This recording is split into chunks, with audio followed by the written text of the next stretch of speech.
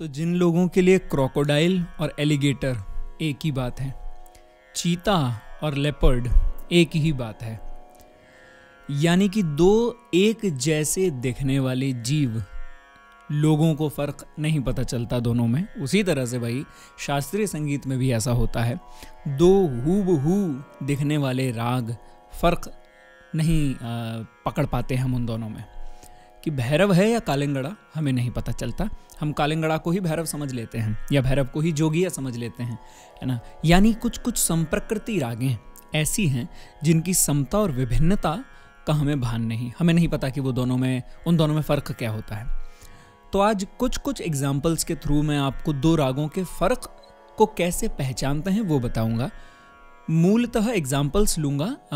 Detail फ़र्क नहीं बताऊँगा। डिटेल फ़र्क हम किसी और दिन किसी और चर्चा में जानेंगे कि भैरव और कालिंगड़ा का फ़र्क सोहनी मारवा पूरिया का फ़र्क दर, दरबारी और जौनपुरी का फ़र्क या पहाड़ी देशकार और भोपाली का फ़र्क ये जो एकदम सिमिलर एकदम संपर्क करती हैं जिनके स्वर तक सेम हैं इनमें क्या फ़र्क होता है ये हम किसी और दिन चर्चा करेंगे। लेकिन आज ये वीडियो हर किसी के लिए काम आ सके इसीलिए मैंने इसका टॉपिक ऐसा चुना है।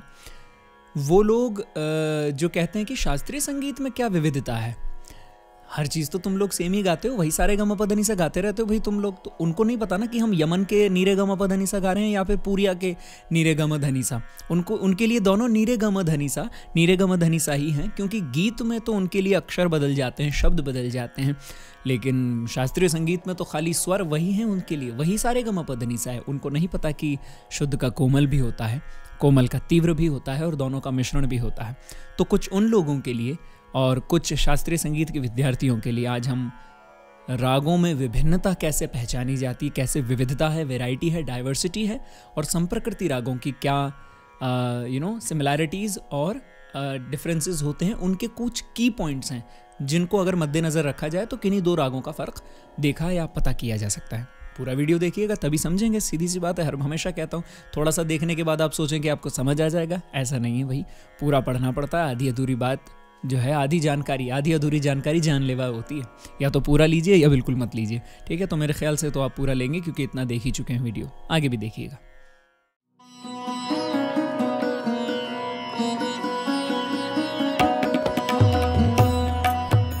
सुनी मैं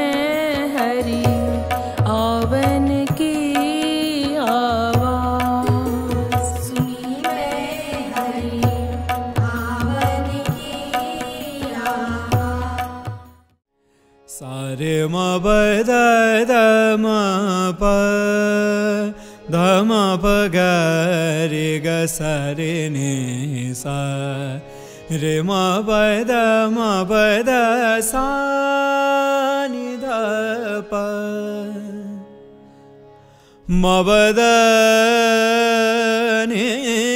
पे म रे रे सा, रे नि सा, ध, नि रे सा।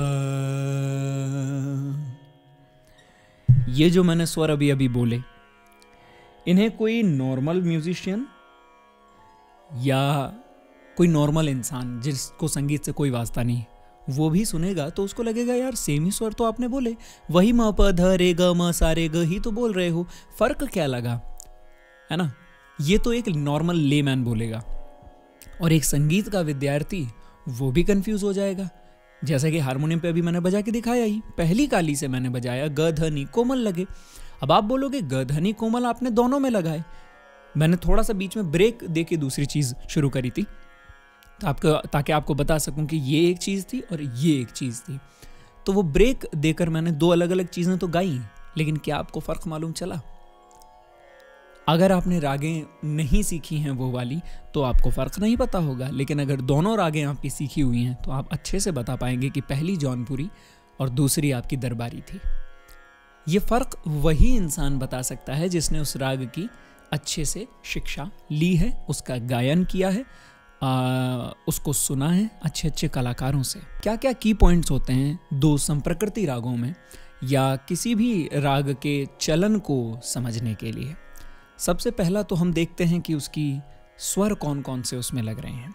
अभी मैं आपको एक एक करके की पॉइंट्स बताऊँगा तो इन सारी बातों को नोट कीजिएगा कि कैसे चीज़ें बदल भी जाती हैं इन्हीं कैटेगरीज में और कैसे समान भी हो जाती हैं, वो सब समझ आएगा आपको। यानी वही सेट ऑफ़ नोट्स लेकर मैं आपको तीन से चार से पाँच रागे बता दूँगा कि इन्हीं सेट ऑफ़ नोट्स में देखिए सिर्फ़ एक एक सुर को बदला जा रहा है और रागें बदल रही हैं और कैसे भाव बदल रहा है, स्वरूप बदल रहा है। ये तो एक छोटा सा एग्ज़ाम्पल था, जौनपुरी और दरबारी का तो। सेट ऑफ़ नंबर्स कि कितने सुर और कौन कौन से लग रहे हैं? जैसे कि मैं अभी इसी एग्ज़ाम यही राग चल रही तो इसी का एग्ज़ाम्पल लूँ। सा, शुद्ध रे ग कोमल, मा शुद्ध पा, कोमल ध, कोमल नी, सा। ये थाट आसावरी है। थाट आसावरी में कई सारे राग निकलते हैं। मैंने लॉकडाउन में मैं बहुत ज़्यादा खाली था। या यूँ कहूँ कि खाली दिमाग शैतान का घर होता है, लेकिन मेरा ऐसा मानना है कि खाली दिमाग ईश्वर का भी घर होता है। है ना? ये मैं थोड़ा ऑपोजिट समझता हूँ। खाली दिमाग लोग कहते हैं ना कि खाली पड़ा हुआ है तो ये कुछ ना कुछ अभी डिस्ट्रैक्टिव ही करेगा या डिस्ट्रक्टिव ही करेगा। है ना? लेकिन मेरा ऐसा मानना नहीं है। मेरा ऐसा मानना है जैसा क्योंकि मैंने जॉन साहब को पढ़ा है। जॉन साहब कहते हैं, जॉन एलिया जी कहते हैं कि इतना खाली था अंदरू मेरा इतना खाली था अंदरू मेरा कुछ पल कुछ दिन तो खुदा रहा मुझमें। तो ये वो वाली बात भी हो जाती है कि जब जब तक आप निर्मल, निश्चल मन नहीं हो जाए, खाली मन नहीं हो जाए तो ईश्वर भी वास नहीं करते खैर, ये आउट ऑफ़ टॉपिक जा रहा है, मैं क्षमा चाहूँगा। लेकिन हाँ तो खाली दिमाग शैतान का घर होता ही होगा उन लोगों के लिए जो शैतानी प्रवृत्ति के हैं। लेकिन जो क्रिएटिव लोग हैं, उनका खाली दिमाग ईश्वर का घर होता है। तो लॉकडाउन में बस वही रहा कि खाली बैठे हुए थे, कुछ काम नहीं था, इतना ज़्यादा करने को बाहर जाना नहीं था। तो मैंने एक पूरी पीडीएफ तैयार करी, मैंने एक लिस्ट तैयार करी, और वो कैसे करी? भातखंडे जी की मेरे पास कई किताबें थी। और कुछ और राग परिचय भी थे, और भी कई किताबें थी। तो मैंने सब में से छटनी, छलनी कर करके रागों की एक सूची तैयार करी कि कितनी रागें होती हैं कुल, और कौन कौन सी राग जो है, वो किस थाट में और किस समय में आती। तो उसकी एक पूरी पीडीएफ तैयार करके मैंने वीडियोस बनाए थे उस पर तो आज वो पीडीएफ का ही थोड़ा सहारा लेके मैं आपको बताऊँ तो एक थाट से कई राग निकलते हैं। यानी उन्हीं, एक थाट से तो नहीं निकल रहे हैं, एक थाट के अंदर, एक थाट के अंदर कैटेगराइज कई रागों को किया जा सकता है।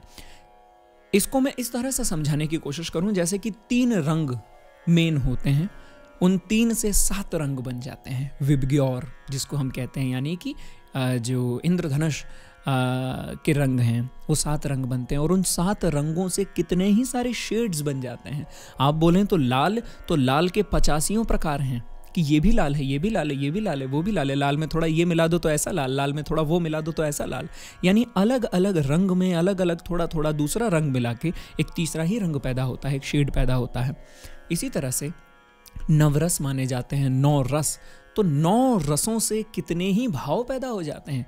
जब दो रसों को मिलाया जाए या एक रस की मात्रा इंटेंसिटी को बढ़ाया जाए डेंसिटी को बढ़ाया या घटाया जाए तो एक तीसरा रस निकल के आता है। जैसे मान लीजिए प्रेम और क्रोध को मिला लो तो एक तीसरा रस निकल के आएगा, है ना? कहते हैं वो शेर है कि तुम्हें आता है प्यार पे गुस्सा, हमें गुस्से पे प्यार आता है है ना? ऐसा करके कुछ एक शेर है। तो ये जस्ट एन एग्ज़ाम्पल कि कैसे दो रसों को मिला के एक तीसरा रस बनता है, कि हमें उससे चिढ़ना भी है। जैसे कृष्ण और गोपी का जो भाव होता है, वहाँ गोपी को उससे बचना भी है, प्रेम भी है, लेकिन उससे छिड़के, नहीं नहीं भाई, मुझे तो तुमसे दूर रहो, तुम मुझसे दूर रहो, लेकिन वो चाहती भी है कि तुम उसे छेड़ो है ना? तो ये क्या है? ये मिक्सड भाव है, ये रस है। तो नौ ही रसों से निकला कि नहीं निकला? यानी मिक्स करके इसी तरह से मूल जो रागे हैं, वो दस हैं, जिसे हम दस थाट भी मानते हैं। बिलावल, भैरवी, कल्याण, भैरव, खमाज, काफ़ी, आसावरी, मारवा, पूर्वी, तोड़ी। इन्हीं दस रागों से इतनी रागे रागों ने जन्म लिया, जिन्हें जन्य रागें कहा जाता है। उसके बाद कई ये टॉपिक तो आता है, थाट राग वर्गीकरण। यानी रागों का वर्गीकरण कैटेगराइजेशन थाट अनुसार किया जाए। और इसी का एक और एक्सटेंशन होता है रागांग वर्गीकरण, यानी राग अंग, जैसे कान्हड़ा अंग है। अब कान्हड़ा अंग में कई सारे आ जाते हैं। दरबारी कान्हड़ा, नाइकी कान्हड़ा, है ना? कई सारे आ रहे हैं जिसमें कानड़ा अंग है। फिर आते हैं मल्हार अंग में तो मियाँ की मल्हार है, उसके बाद सारंग अंग आता है तो शुद्ध सारंग है, या वृंदावनी सारंग है तो ये सारंग अंग के हैं, है ना? भैरव अंग के कितने सारे आ जाते हैं? भैरव वहीर भैरव वैरागी, भैरव शिवमत, भैरव बंगाल, भैरव। है ना? ये सब भैरव अंग में आ जाते हैं। इसी तरह से हर के अंग है। बिलावल तो बिलावल अंग में इतने सारे राग आते हैं कि अलैया बिलावल है, यमनी बिलावल है, देवीगिरी बिलावल है, कई सारी बिलावल हैं। इसी तरह से आसावरी भैरवी, मारवा पूर्वी, तोड़ी, हर एक थाट के अंदर कई सारे राग हैं और हर एक अंग, बहुत सारे अंग ऐसे हैं जिनके कई सारे, जैसे नट अंग होता है। तो नट बिलावल, नट भैरव, ये नट के अंग होते हैं। तो कई सारे अंग होते हैं। ये रागांग वर्गीकरण हो गया, यानी रागों के अंग के अनुसार कैटेगरीज बांटना। आज मैं आपको बताने जा रहा हूँ कि कैसे संप्रकृति रागों में फ़र्क किया जाता है। जैसे कि अंग्रेज़ी है। भाई, अंग्रेज़ी को बोलने का तरीका ऑस्ट्रेलिया वालों का अलग है और यूरोप वालों का अलग है तो अमेरिका वालों का अलग है। वही अंग्रेज़ी है, वही स्वीडन में अलग बोली जाती होगी, या जर्मन में अलग बोली जाती है तो हिंदुस्तान में अलग बोली जाती है, जो एक्सेंट है, बोलने का ढंग बदल जाता है। तो कई बार रागों में भी ऐसा होता है। मान लीजिए भैरव और कालिंगड़ा का अगर फ़र्क लिया जाए तो भैरव के सुर जाते हैं, सा कोमल रे, शुद्ध ग कोमल ध, शुद्ध ने, सा। इन्हीं सुरों में भैरव भी आती है और इन्हीं सुरों में कालिंगड़ा भी आती है। फ़र्क सबसे पहला जो आता है, पहले तो आपने ये देख लिया कि स्वर कौन कौन से लग रहे हैं, है ना? कई बार तो जैसे गुणकली है तो सारे मा पद मा पद सा, द, प, मा, सा, रे, सा। तो आपने देखा ये भैरव से कैसे अलग हुई? क्योंकि इसके स्वर अलग थे। इसमें ग और नी नहीं लगा, वर्जित हुआ। तो सबसे पहला पॉइंट तो आता है नंबर ऑफ़ स्वर। तो उससे तो फ़र्क इजीली हो जाता है। लेकिन दूसरा जो आता है वो है चलन। यानी राग की प्रकृति गंभीर है या चंचल है। गंभीर यानी उसके स्वर आराम आराम से, आंदोलन, गमक मीण के साथ लगेंगे और कुछ जैसे ही ये आभूषण हटा दिए जाएँ तो वो सादा हो जाते हैं, चंचल प्रकृति की, जैसे भैरव और कालिंगड़ा का फ़र्क है। अब भैरव जाती है, सरे गा ग रे रे।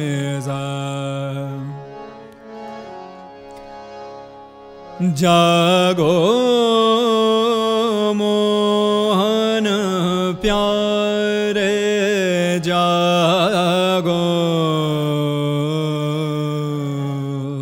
ऋषभ में आंदोलन आ गया। लेकिन यही अगर कालिंगड़ा जाती है तो वो सीधी सीधी जाती है। पा पा मा पा मा, ग मा, ग, रे, सा, रे, ग, मा मा, ग मा, ग, रे, सा। है ना? ग मा प मा मा मा ग मा ग रे सा रे ने सा ने दा ने सा रे सा ग ग मा।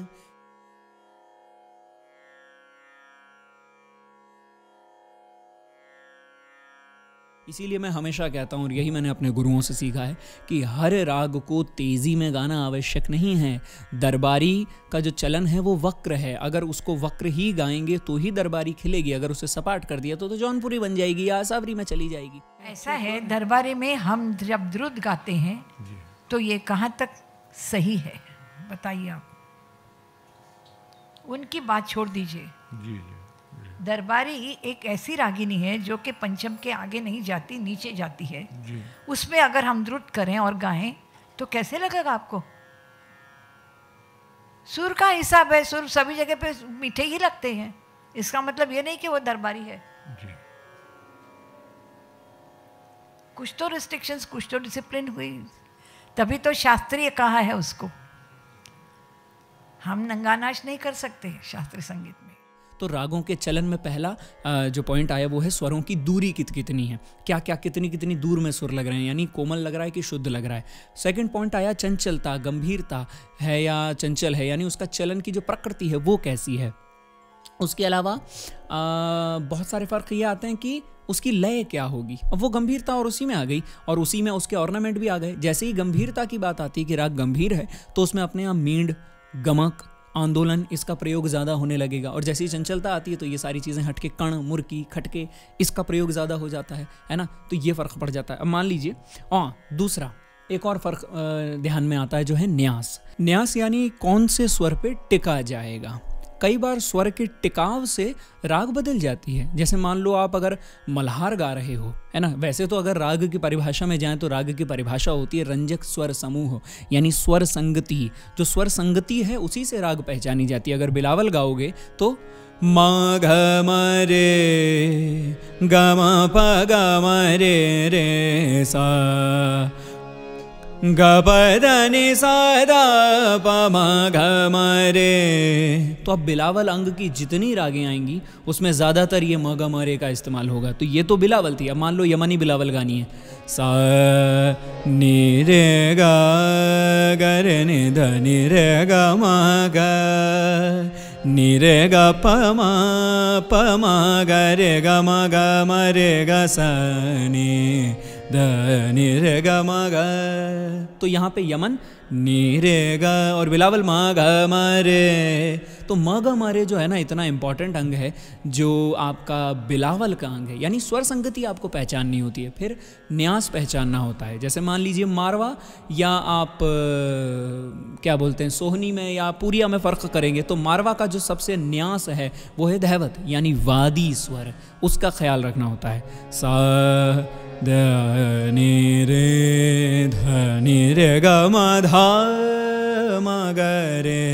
ध ध रे सा। अब स्वर यही है पुरिया के भी, लेकिन पुरिया जाती है नि रे ग म ध नि सा नि रे नि द म द सा नि रे नि द म द सा। अब मद सा नि रे सा। लेकिन मारवा जाएगी तो ध रे ग म धा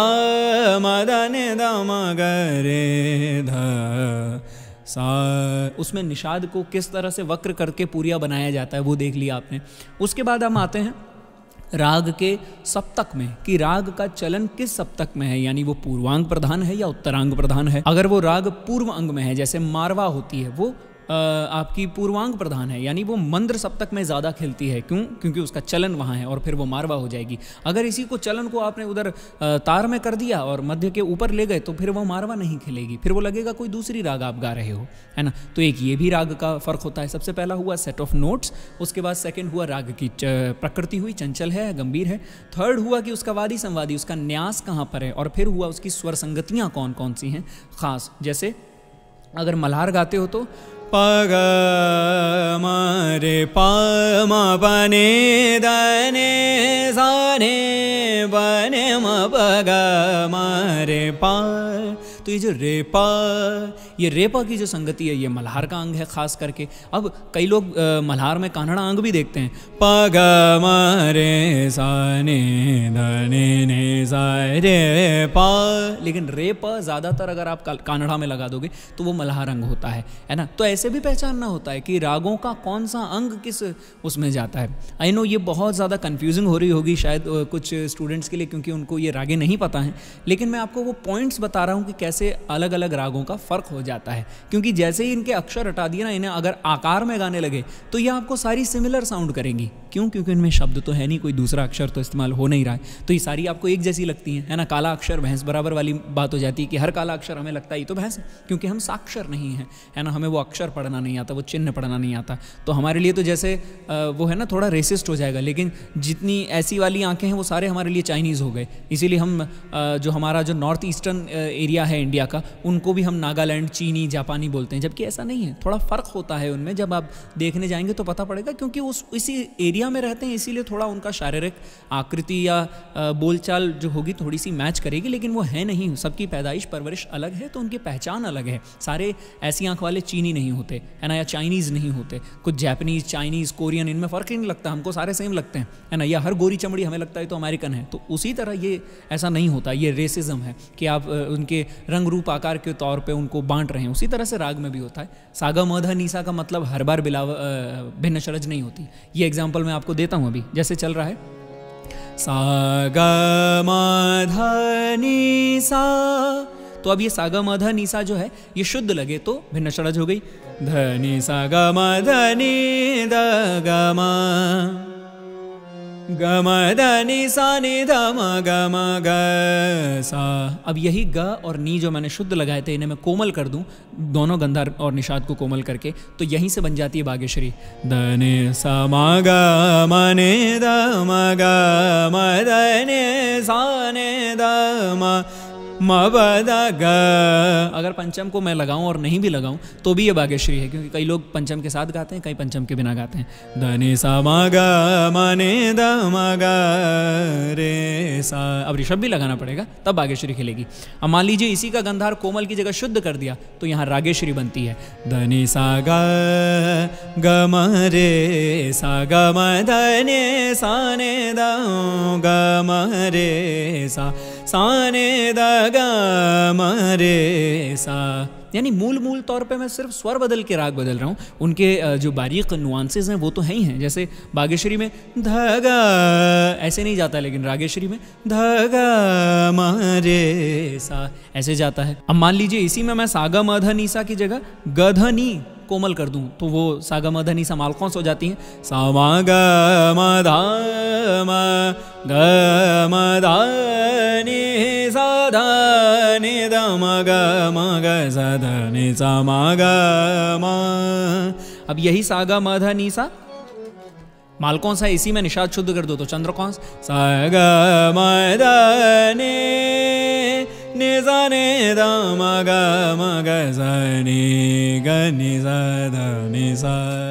इसी तरह से कई सारी रागें बन जाती हैं। मान लीजिए इसी तरह से अगर आप अ, कई रागें कैसे बनती हैं? स्वर इधर के उधर करके जैसे राग मुल्तानी है। नि सा ग म प नि सा सा ने द प म ग रे ग रे सा। अब ये तोड़ी थाट की राग है।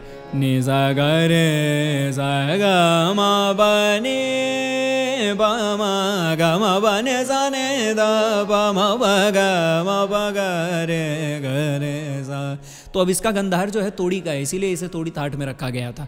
लेकिन इसी का ऋषभ और धैवत शुद्ध करके मधुवंती बनानी गई। नि सा ग म प नि सा ध प म प ग सा रे नि सा ध नि सा ग रे नि सा लेकिन कई लोग तब भी इसे तोड़ी थाट में मानते हैं। यानी स्वर इधर से उधर करके देखिए कैसे रागें बदलती हैं, उनकी स्वर संगतियाँ बदल के कैसे रागें बदलती हैं, लेकिन खास जो चीज़ राग में होती है, वो होती है श्रुति। तोड़ी का गंधार, भैरवी का गंधार, और आपका दरबारी का गंधार, ये तीनों कोमल गंधार एक नहीं होंगे, इनकी श्रुतियाँ अलग अलग होती हैं। तो इस तरह से भी रागें बदली जाती हैं। तो यानी बहुत से पॉइंट हैं जो राग के चलन में आते हैं, राग का चलन पहचानने में और उनकी समता विभिन्नता करने में। कई लोग क्या करते हैं कि सिर्फ़ शास्त्र के तौर पे रागों की समता विभिन्नता पढ़ लेते हैं कि भैया ये इसमें लगता है, ये इसमें नहीं लगता है। भैरवी में बड़े ख्याल नहीं गाए जाते हैं, दरबारी में ध्रुपद ज़्यादा गाया जाता है, ये पढ़ तो लेते हैं। इसका अर्थ नहीं समझते कि ऐसा होता क्यों है। तो आज बस वही बताने की थोड़ी बहुत मैंने कोशिश करी कि दो रागें आपस में कैसे अलग अलग होती हैं, जैसे दो रंग आपस में अलग होते हैं, जैसे दो भाव, दो रस आपस में अलग अलग होंगे, उसी तरह से रागें भी अलग अलग होती हैं और इनको सुनना, समझना पड़ता है कि जो भाव दरबारी में है, वो जौनपुरी में नहीं है, वो दोनों रस अलग अलग हैं। तो कैसे आप कह सकते हैं कि दो रागें एक जैसी साउंड कर रही हैं? जस्ट बिकॉज़ क्योंकि उनके जो अक्षर हैं, वो सेम है, अब सारे गम अपधनी तो नहीं बदल देंगे ना इसीलिए तो स्वर प्रधान नहीं होती है, आकार प्रधान है। आप स्वर हटा भी देंगे तब भी उसका चलन वही रहेगा। है ना? लेकिन गीत में ऐसा नहीं होता है ना? गीत में आपने वही शब्द बदल दिए और वही धुन रखी ऐसा नहीं हो सकता है है ना? बदल जाते हैं भाव बदल जाते हैं तो हमारे यहाँ ऐसा नहीं होता। हमारे यहाँ स्वर अगर हटा भी दिए जाएँ तब भी भाव वही रहेंगे क्योंकि आकार भी लगे या अक्षर कोई भी लगे श्रुतियाँ वही रहती हैं ध्वनि वही रहती है भाव वही रहता है। तो खास करके ये फ़र्क था। अ, मेरे ख्याल से मैंने समझाने की कोशिश करी थोड़ा लंबा हो गया वीडियो और भी कई सारे पॉइंट्स थे इसमें जो रह गए। जो समझाने थे, मगर किसी और दिन शायद फिर चर्चा करेंगे। लेकिन आई होप आई वॉज़ थोड़ा बहुत क्लियर बाकी इस टॉपिक पे और बात करेंगे। बहुत शुक्रिया।